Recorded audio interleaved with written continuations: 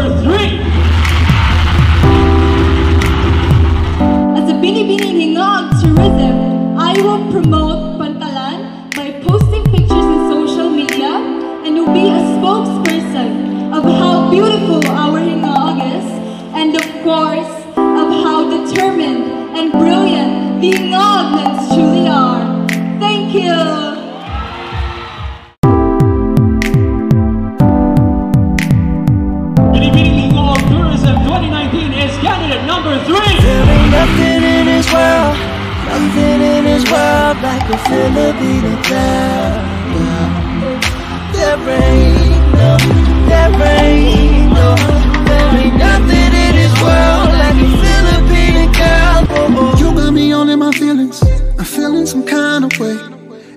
That you got me here, there's so much I want to say. Like, Hey guys, welcome back to my channel. It's been a while and yes, I'm back finally. Exactly a year ago today, I was crowned as Binibining Ngog Tourism 2019. So for today's video, I'm going to be sharing to you my whole journey. We'll talk about my preparations, my thoughts and feelings, my realizations, and my experiences before, during, and after the coronation night. So this is very, very close to my heart since it's my first crown in a prestigious pageant. And at a young age, I did not expect it at all. For me, it was so impossible to reach. So I'm so excited to share this with you guys. And I waited long for this moment to come. So without further ado, let's start!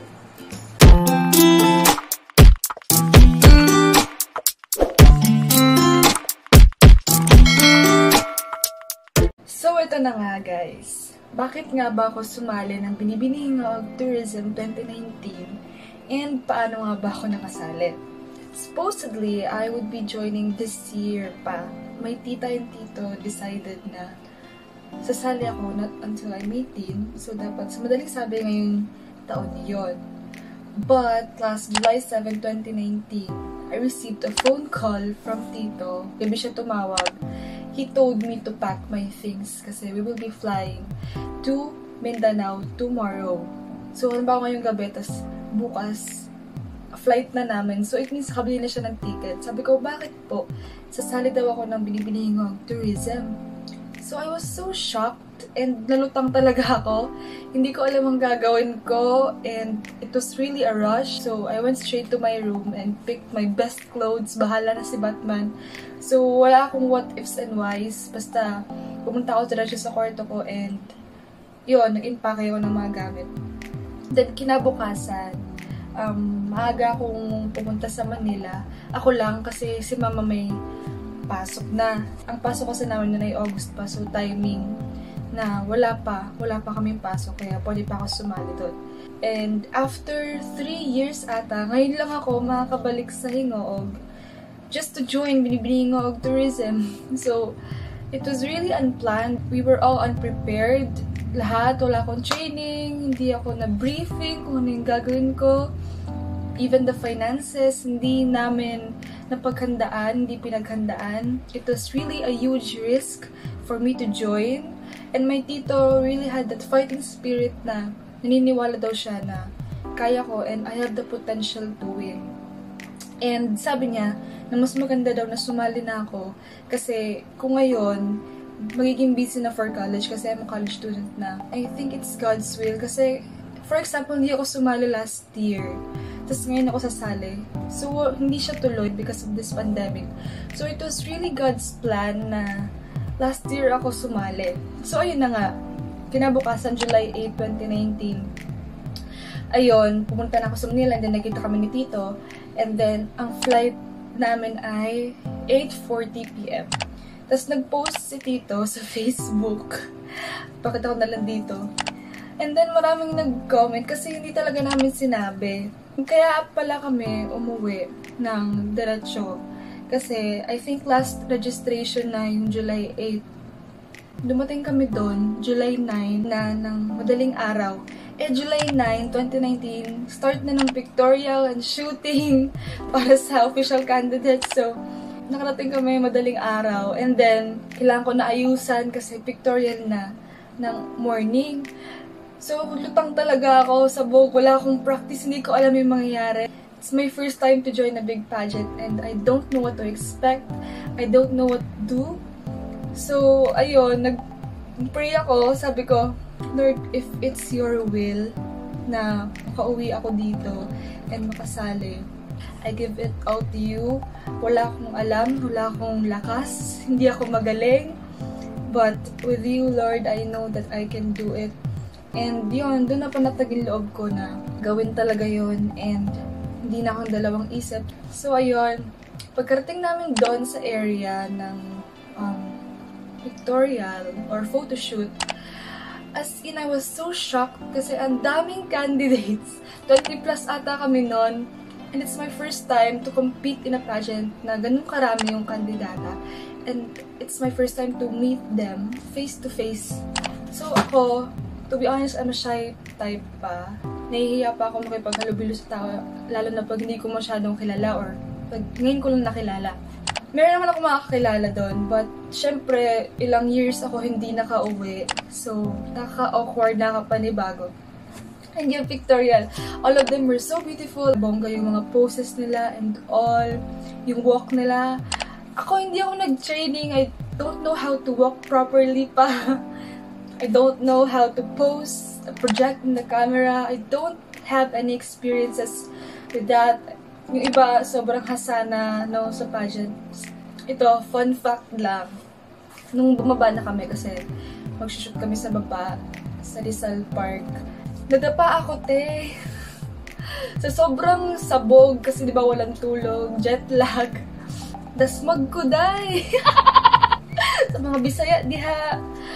So, nakakahiya. And, as in, sobrang nagising ako nung araw na. Tapos, pinalitan ni Tito yung heels ko kasi nga, hindi pa ako sanay mag-heels. Semento pa yung daan. Ang ikli kasi ng suot ko, and then nagkasugat pa ako sa tuhod. Then after that, it was really a long day, no? Ang daming naganap na photoshoot, pictorials, makeup, grabe. We went home, dun pa ako nakapagpahinga. Kasi, ang sunod na activity is July 15 pa. It's presentation of candidates. So ngayon, kailangan ko talaga mag-training kasi hindi pa ako marunong maglakad. I don't know how to walk properly.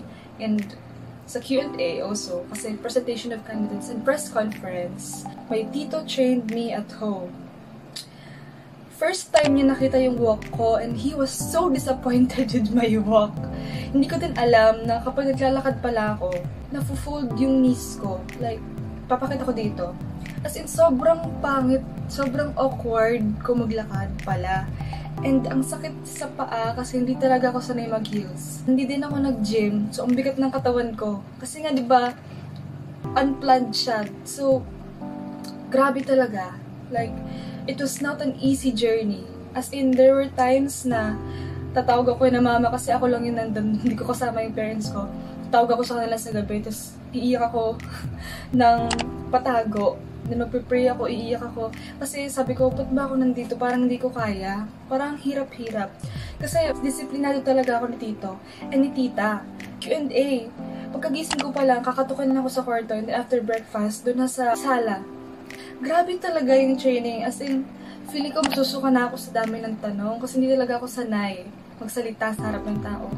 So it was really a tough training for me. Moving forward, July 15, 2019, presentation of candidates and press conference. To be honest, hindi ako kinakabahan kasi I was prepared. I was ready. Nag-practice kami ng Q&A sa bahay. And I think meron naman akong bala, no? Maraming questions na tinanong. Pag alam ko yung sagot, taas lang na ng kamay. I did not hesitate to answer. And my tita was so happy that day kasi hindi na sayang yung pinagpraktisa namin. Talagang binigay ko yung lahat ko sa press conference, no? Kasi it's our first time to speak our minds sa harap ng mga judges sa panel. So, binigay ko na talaga yung lahat ng best ko. And it was really a great day for me. I was satisfied. And the next um, day, rehearsals na namin for pre-pageant. So we did not waste time. Nagpatuloy kami ng training sa bahay, ng Q&A and pasarela. Siguro nag-improve naman unti yung paglalakad ko. Papakita ko dito. And then, July 21, pre-pageant night. I was so nervous nung nag-makeup kami And to be honest, it's my first time na mag-contact lens. so, lahat talaga na nangyari sa Binibining Tourism, ang daming first time, guys. Was really a great experience talaga. So, nung naglalagay na kami ng lenses, ang gagamitin daw na lens Tita Ards. Hi, Tita Ards! Siya yung makeup artist ko. Blue. Nung nilalagyan na ako, kasi nag-automatic yung mata ko na magsara. Naliit siya pag papalapit na yung lens. So, ang tagal namin natapos. Hindi naman ako marunong lagay sa sarili ko. So, thank you so much for your patience talaga, Tita Ards. Grabe talaga yung experience na yon. Nung nalagay na, sobrang banu ako kasi ang ganda. Start na yung pre-pageant night. So, we had our production number and um, the preliminary Q&A. It was a given question sa amin. So, i-judge sa amin ay stage presence, the way we speak, kung paano namin dalhin yung sarili namin, you know, and the thought and idea of our speech. So, the tourist spot or the word given to me was Rizal Park. So, sa bahay, syempre nag-prepare na kami and I really practiced it well. Fortunately naman, nung pre-pageant night, hindi ako nag-stutter and hindi ko nalimutan yung pinag-practicean ko. So, it was a great performance for me. And then, pagkabukas ng gabi, July 22, coronation night na. So, nung gabing yon, syempre may swimsuit. to be honest, first time ko magsuswimsuit din, guys. And kinakabahan ako kasi hindi ako nag-work out. I'm so conscious about my body. Kasi hindi ako fair skin, may mga baby fats ako. And first time ko mag swimwear sa harap ng tao, sa maraming tao. So that night, habang nagpa-practice kami ng pasarela, um, may mga swimsuit yung tita ko doon sa aparador. So, nag-try kami ng isa. One piece siya. Sobrang, ang sikip sa akin ha, kasi yung tita ko dati sobrang payat. And then yung tinry ko, sabi ko, oh my god, parang, parang ang pangit, ang pangit ng katawan ko pag nag-swimsuit, ang taba ko, ganyan, ganyan. Nag-practice kami yan. Awkward talaga. Sa bahay pa nga lang yun, awkward na ako. What if sa maraming tao? And ayun, tapos sinabi ko lang sa sarili ko na, sige lang, gabi naman, may makeup naman, malayo ka naman sa tao, nasa stage ka, so hindi ka masyadong mahalata. So ayun, then July 22, 2019, it was the big night, the coronation night, habang nagme-makeup kami, habang nasa backstage ako, I was so nervous. Baka hindi ko maibigay yung best ko. Baka masayang lahat ng pinag-practice namin, lahat ng pinagpagura namin. And ayun, nag-start sa production number. Binigay ko lahat ng best ko. And I did not expect, no, na I was best production number. And then, announcement ng top 15. To be honest, I was really surprised kasi ako yung pinakaunang tinawag sa Q&A. Kasi ako yung unang natawag sa top 15. And the question that was given to me was about my ultimate dream. So, ayun, sinabi ko lang yung nasa puso ko without hesitations na my ultimate dream talaga is to be a beauty queen someday. And to represent syempre Hingog to a bigger passion arena the future, di ba? Yun talaga yung pinakamalaking may iaambag ko or may bibigay ko sa Hingog City. Magagawa ko as a beauty queen. Hindi ako nag-stutter, hindi ako na mental block. Kasi yun talaga yung kinatatakutan ko sa Q&A na mag-mental block ako. Kasi hindi talaga ako sanay magsalita sa harap ng tao, guys. Unfortunately, I did not. So, after that, swimsuit na. Ito na yung swimsuit. Grabe talaga yung experience sa backstage. Yun talaga yung the best. Kasi hindi alam ng mga audience yung nangyayari backstage. Kasi diba paglabas ng girls, ganda, poise, project. But backstage, they don't know the struggles we are facing. Hindi nila alam kung ano nangyayari, karibok na, may mga nagsisigawan na, katakbuhan. And ayun, swimsuit. Hindi talaga ako sanay and hindi ko alam na may cape mayroong kapa na binigay sa amin. Hindi namin na-practice yun sa bahay. So, hindi ko talaga alam yung gagawin ko. Sabi ko, bahala na. Basta, when I go out, kung ano yung na-practice ko sa bahay, lang yung gagawin ko. Guys, mood ka ko nadapa. Kasi yung platform, yung stage, hindi pantay-pantay. Mayroong parts doon na nakaangat yung kahoy. And siguro napatapat ako doon sa may kahoy na yun pagka-post and pagka-exit. Mapakita ko dito muntik na akong madapa. Buti na lang hindi. Buti na lang na balance ko yung sarili ko. And I was really nervous that time kasi feeling ko talagang awkward-awkward ko nung nagsuswimsuit. Tapos madadapa pa ako. So, bawas points na sa judges, di ba? Then after the swimsuit competition, long gown na. Sa long gown, since it's my favorite part, I could say na it's my forte. Kasi sa long gown, slow walk lang yan eh. Yung pinag-practice na namin ni Tito, ginawa ko talaga siya sa stage. And fortunately naman, I won Best in Gown. Ang ganda din ang napapunta sa aking gown. And then, after the long gown competition, announcement ng top 5 finalists, kinabahan talaga ako dito ha, kasi I was the last one to be called. Hindi ko talaga alam kung matatawag ako noon, kasi all of the girls are so deserving talaga na maging part ng top 5, na manalo. I'm really not expecting naman talaga to win. But, you know, I was praying, no? I was the last one to be called, so sobrang sobrang ingay ng place pagkatapos. I was so happy then no, to have my classmates, my friends, you know, my family. Ang dami talaga nila na nag-support sa akin. Kada sisigaw sila, nag-boost yung confidence ko. It was really a great help na may mga taong naniniwala sa kakayahan mo. And ayun, natawag ako sa top 5. Sobrang kinabahan talaga ako kasi I thought na hindi ako makakasali sa top 5. After nun, Q&A na agad. So, I was the last one to answer kasi ako yung pinakahuling tinawag.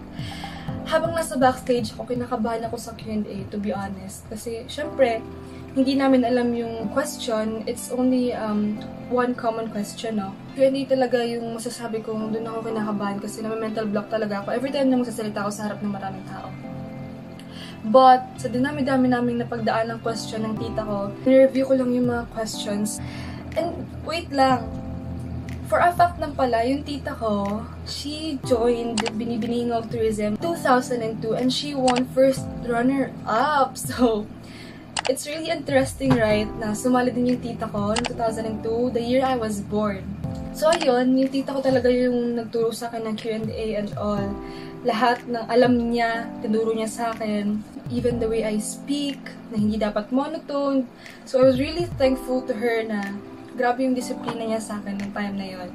Hindi ako kinabahan nung nasa stage na ako. Kasi siguro I was prepared.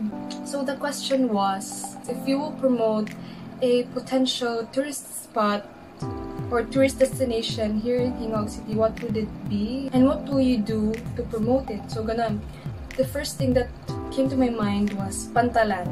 It's really a great tourist spot indeed. And yun talaga yung siguro one of my favorites din sa Ingog City kasi sobrang accessible niya lang and ang dami mong pwedeng gawin sa Pantalan. It's really a wide place. It's really a nice place, especially sunsets and sunrise, no? Doon din kami nagja-jogging. Ang dami ko na nagawa doon. Um, sa mga friends, doon kami nakain. Every time kasi na nasa Pantalan ako, I see families eating together, bonding with each other, no? mga bata tatakbuhan, sobrang saya, babarkada, ganon, mga mag-jowa bells, charot. Ano mga, mga reunion doon nagaganap. So, ang daming memories na pwedeng gawin sa pantalan. And then, ang dami pang food stalls na pwedeng pagpilian. So, yun yung una kong in-answer. Kasi, I know na it has great potential talaga. Yung magagawa ko lang para ma-promote siya through social media. Kasi, it's really the fastest way, no, to connect with other people. Even na hindi kayo magkakilala in person. Kasi ngayon, di ba, halos lahat na ng tao may internet. Fortunately ulit, I did not stutter and it was really a great um, experience for me na I overcome my fear. Hindi ako na mental block when I was answering. Ang nakakatawa pa doon, when I said thank you, na-prolong ko pa, like, Thank you! Hindi ko talaga alam na napurlong ko pala yun. Kasi parang na-relieved ako na natapos ko yung answer ko ng maayos. After that, um, nag-change kami ng gown, yung mga top 5 finalists. And then, may last walk kami, kumbaga last impression sa judges. Ito sa white gown. It was my favorite part din ng pageant. Kasi, ang music ng Filipina girl.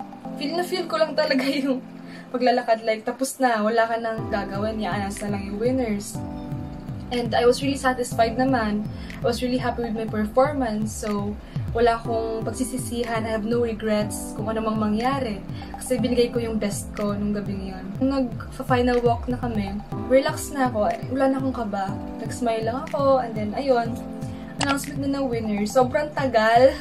Sobrang thrilling nung pag-announce ng winners. Doon ako kinabahan eh, nung dalawa na lang kami na nasa stage. Tapos pinatay na yung ilaw. And nung in-announce na yung winner, when I heard my number and my name, I mean, totoo pala talaga yon na pag na-announce na yung winner, parang nagsuslow mo effect. parang kung nasa cloud nine. I mean, sobrang lutang ko guys hindi ako makapaniwala, hindi siya nag-sink in agad-agad na, ay, ako yung panalo. Hindi, I mean, naiyak pa ako nung in-announce yung winner. Tapos yung lipstick ko, kalat na wala dito sa ngipin. Yung mga tao nagsisigaw na, yung mga friends ko. Doon ako, parang lutang na lutang na. Ako, ako yung panalo? I mean, I was so glad. I was so grateful lang na that I won it was really God's plan talaga. Hindi lang kasi to para sa dreams ko. Para din ma-repay ko, no, yung efforts and yung sacrifice na ginawa ng family ko para sa akin. Yung mga friends ko, yung lahat na naniniwala sa akin, lahat ng sumuporta sa akin since day one. Ang dami nagpa-picture sa akin sa stage, like, yung stage, parang feeling ko, nagalaw na kasi ang daming umakyat. And smile na ako ng smile. Hindi ko na kasi alam yung nararamdaman ko. Parang na talaga ako nalulutang nung gabing yon. Nung pagkabukas parade na, hindi pa rin siya nagsisink in sa akin. And then, ayun, ang daming tao. Lang mag-isa sa pick-up truck ata yung tawag dun. Lang mag-isa. Eh, Siyempre ako, may pagkamahayain pa ako. Kailangan ko mag-wave, mag-smile. Hindi ko alam kung tama pa ba yung ginagawa ko. I need to chin up kasi ako na daw yung queen. And hindi pa rin talaga ako naniniwala na ako yung queen. Like at a young age, and grabe talaga yung experience na yon Like, grabe talaga si Lord, no? Hindi mo talaga aasahan yung mabibigay niya sa'yo. I mean, it's really impossible for me, no, dati na manalo ng binibigay ng authorship kasi ang taas talaga ng tingin ko sa pageant na. It's a prestigious pageant indeed. I think God knows lahat na nangyari sa akin kasi siya talaga may kagagawa nito kung ba't ako nandito ngayon. Not by my own strength, not by my own talent, but it's God's. Siya talaga yung may gawa ng lahat ng to. It's His plan, it's His will, and I thank Him for giving me this great reward na maging binibinihing of Tourism 2019. After that pageant, an opportunity came for me to join Miss Kuyamis. O lahat ng municipalities and cities ng Misamis Oriental pwedeng sumali. And I was one of the fortunate candidates. So it was really a great experience then. And before I forgot, I would like to give tips lang for binibiging of tourism aspirants. Kasi for sure, maraming may mga potential dyan, but nahihiyang lumabas sa kanilang comfort zone. Alam nyo, isa lang ang masasabi ko dyan. I learned this from a legend. Natutunan ko to sa tita ko, tita pikot ko. And hanggang ngayon, hindi ko siya makakalimutan. And naa-apply ko siya sa iba't ibang aspeto. Hindi lang sa pageants. Sabi niya sa akin, nothing beats being prepared. Nothing beats being prepared. Totoo naman talaga yun eh. Kahit gaano ka kaganda, kahit gaano ka kagaling, ka-confident, if you're not prepared, wala, masasayang lahat yon. Sabi nga nila, talo ng handa ang magaling. Kasi dapat may bala ka. If you really want to win Binibining of Tourism or if it's your dream to be a beauty queen someday, you need to be determined talaga. You need to know your purpose kung ba't ka sumali. Hindi lang kasi ito sasali ka lang kasi gusto mo lang magpakita sa stage. You just want to show off. You need to prepare yourself physically, mentally, emotionally, lahat ng aspects. It carries a big responsibility. If you know na kaya mo, just trust in the Lord. Ayun. I would like to take this opportunity to thank my sponsors, no? Sir Tax of Glamour Salon and Kagawad Marlon ko. Thank you so much, no, for sponsoring me sa Binibiging of Tourism. Of course, to my family, to my Manang Raquel, to Tita Picot, Manong Junjun, to my Lola and Lolo for taking care of me, no, sa lahat-lahat sa bahay. Of course, to my parents, na kahit malayo sila, pinakita nila yung support nila sa akin. Sa mga tita-tita ko, sa side ni Papa, thank you so much sa lahat. Maging sa friends ko, sa close friends ko sa Hingoog, um, to all who believed in me, to all who supported me since day one. Thanks so much. And of course, thank you God for this great reward that you have given to me. Without Him, hindi ko talaga ito magagawa. Hindi ako makakarating dito sa kanaroroonan ko ngayon. So, yes, I hope no that this pandemic will end soon and I wish no that all of our Hingaognans are safe. I'm looking forward na makauwi ulit sa Hingaog City soon to meet our next Miss Hingaog. So, once again, I am Samantha Pauline Olaer Ferranil, your Binibining Hingaog Tourism 2019. Bye! Ain't nothing in world, nothing in world like a Filipino girl. There ain't nothing in this world, nothing in this